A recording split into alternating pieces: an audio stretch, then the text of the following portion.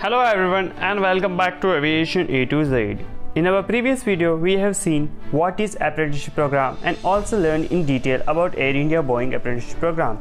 And in this video, we will try to solve your common doubts which I have received from many students and I will try to answer frequently asked questions.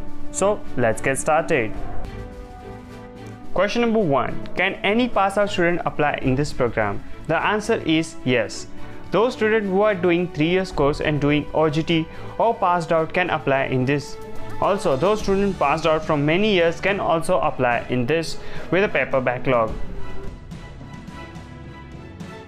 Question number 2. Can CAR 147 students apply?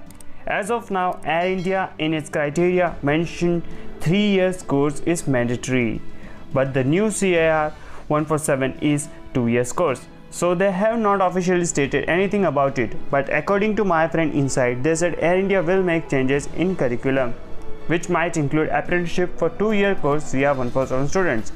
I will keep you updated on this topic if I receive firm information about it. So stay tuned and subscribe us. Question number 3. Can students from Avionics stream apply for the program? The answer is yes.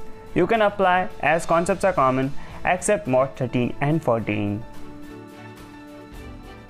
Question number 4. Can students from B1.3 helicopter stream allowed to apply?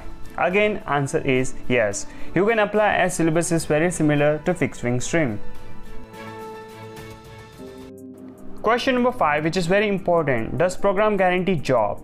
No. There does not guarantee a job in Air India or Boeing or with any other airline organization. But they provide support by helping you develop soft skills which are essential for job interviews. Question number 6. How they select candidates and what is minimum requirement to clear it? They select candidate based on round 1 and round 2 and there is no such thing as minimum grade as it is based on relative grading means the number of seats compared to number of marks students scored so top 25 students will be selected